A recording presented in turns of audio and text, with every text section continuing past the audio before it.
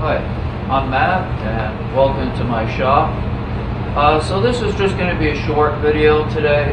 Uh, coming back to the mini mill here, the uh, one that I built. Uh, I've had a bunch of questions on my pages about this mill, about the table, uh, and some comments. I wanted to follow up on uh, these this whole series on this still to this day is one of my most popular. Uh, so one of the things I wanted to mention is since the last video I did on the build of this, there was one more modification I didn't uh, mention, and it has to do with extending the travel of the table here. And we're going to measure the amount of travel I have on this in both X and Y. And I'm going to look up the original specs. I'll insert that after. We'll compare the difference. Uh, I know I've added quite a bit on the uh, the y-axis. I think it's about 23 millimeters more that I've added to it.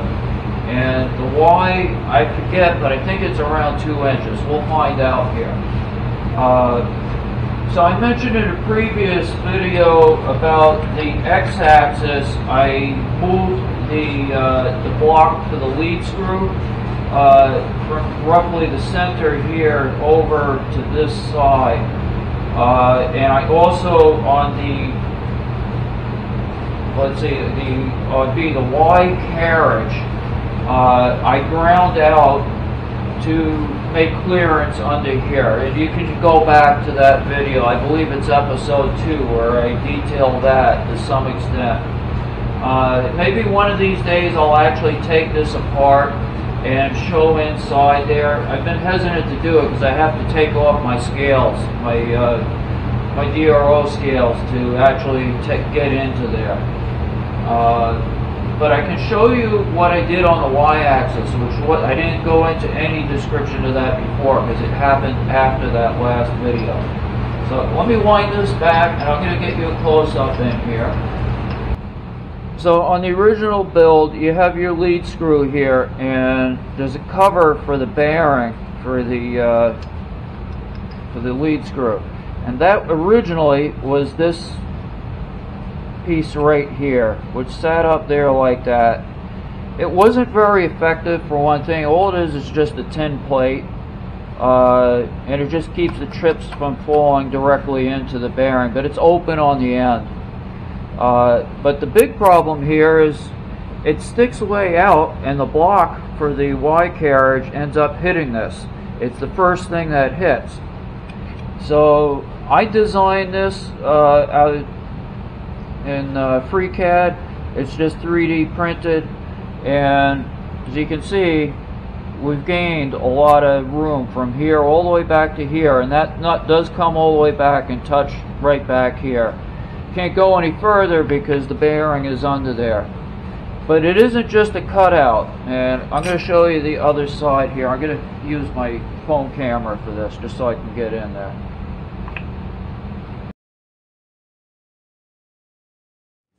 Okay, so here's the other side, and you can see it's got a cover that comes down over the bearing, and probably can't get enough light, but it goes right around the sides of it too.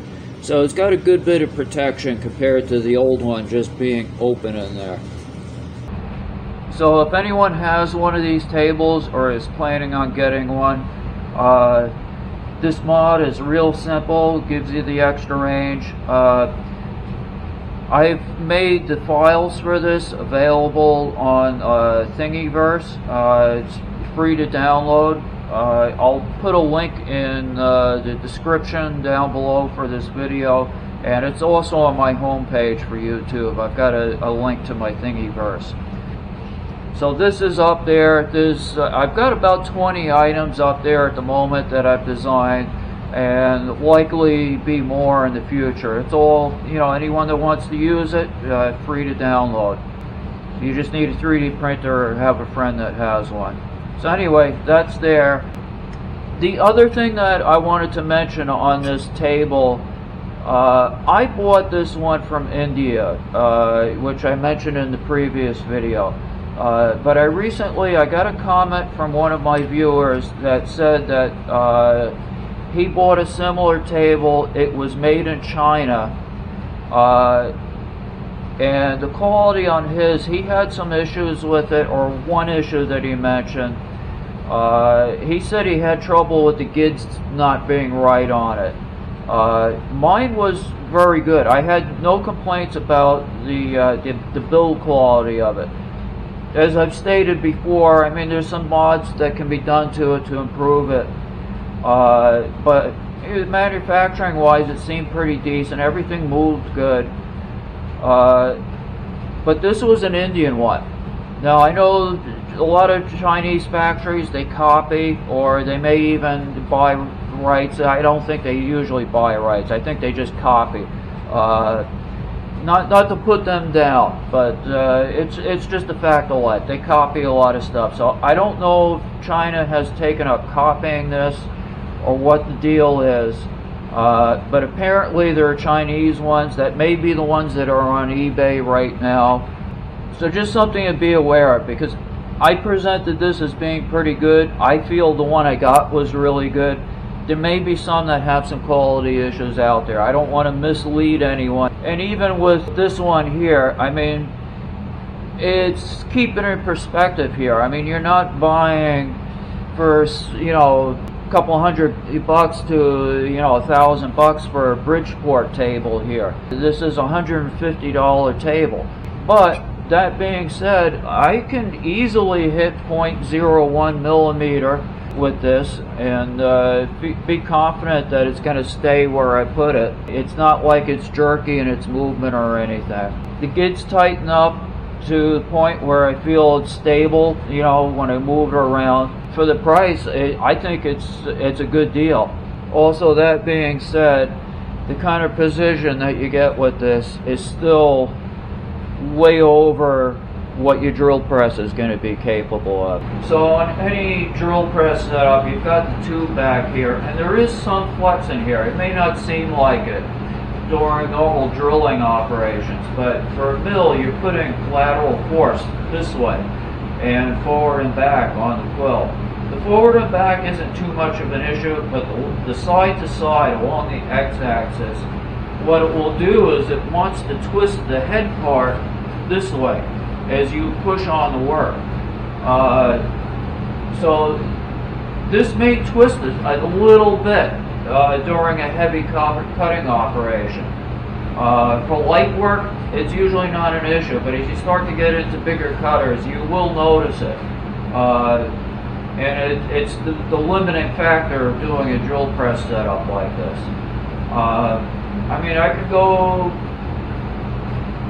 up to about a one inch diameter on this. I have to take it easy on something that big. I can't push it. And I do notice the flexing. You start to see quality issues uh, in the cut the bigger you get. Uh, but it works. But just things to think about, the limiting factors of it. That, that movement in there is going to be more of an issue than the accuracy of the table. Okay, so I just zeroed out my DRO. Uh, so let's see if we can get X uh, right on one millimeter here.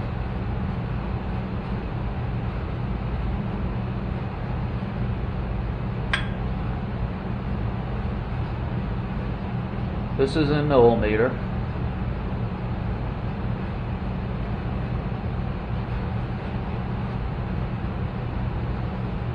So hit that right on the dot. Let's go to Y.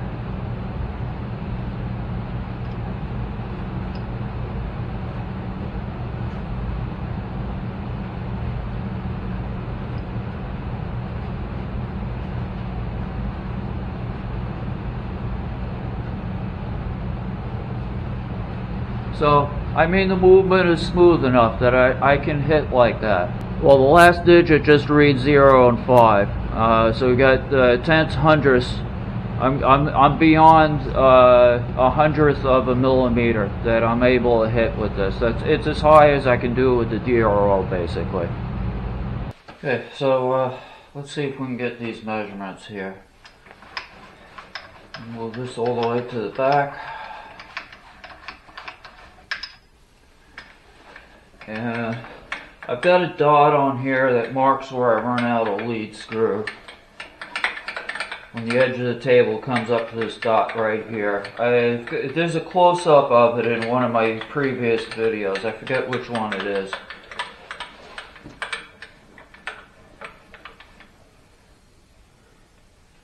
Okay, so that's the end of the travel.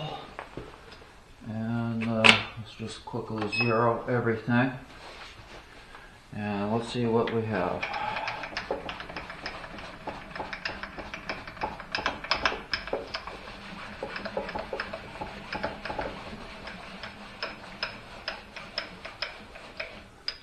Okay, so that's y-axis all the way to the front. We have 132, a little over, we'll call it 132.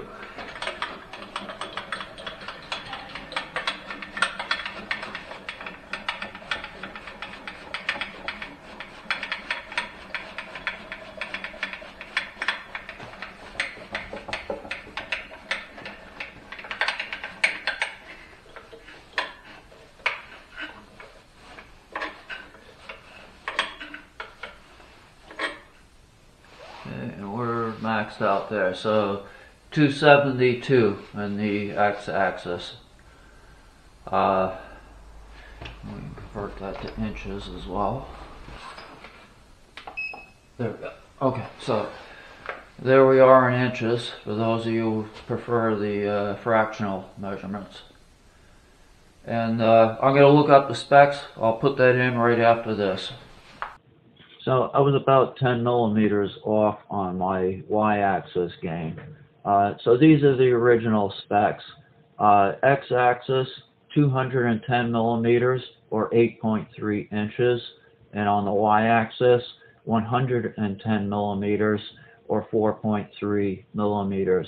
And I think that's rounded on their part because it doesn't add up just quite right when I do the math at the end.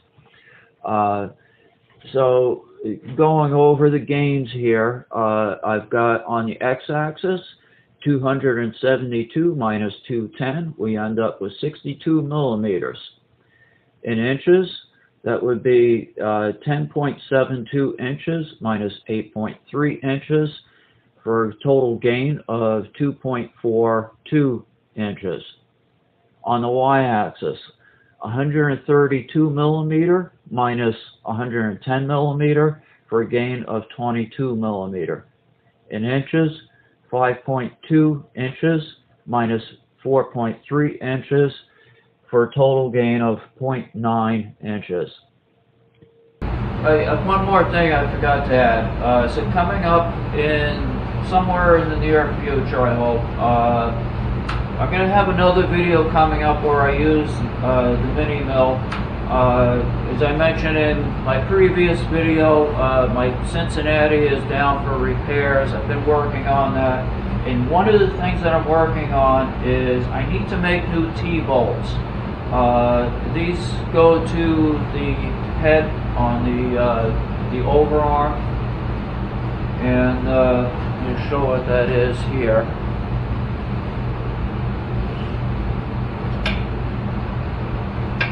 So these are a start here. And what I did is I just took larger bolts and uh, I've turned them down and threaded them. So this is partially done. It still has the original head size there. And this was the first one I did. I threaded all the way on this. At the future ones I'm do doing the partial thread uh, like that. But as you can see here, I've squared off the head to match that and the thickness. Uh, so obviously this is all lathe work here, uh, but this squaring here is mill work and I've done that on the mini mill. Uh, and I've got a whole bunch more blanks over here like that. I still need to thread these and uh, do the rest of the turning and then I'll be doing the squaring off on those. Uh, so that video is in progress now, uh, along with the rest of the repairs on the Cincinnati mill. Uh, so this will be coming up in the, somewhere in the future here. I just wanted to give you a heads up on that. So the T-bolts, they, uh, they slide in this groove here. Just like that. And uh, they bolt the head on with this flange that's on the, uh, on the head. And uh, this nose here goes in the bore here keeps any lateral movement from coming into play and this holds everything tight against the face and also prevents rotation of the head this way. Uh, the same goes for uh, the knuckle here.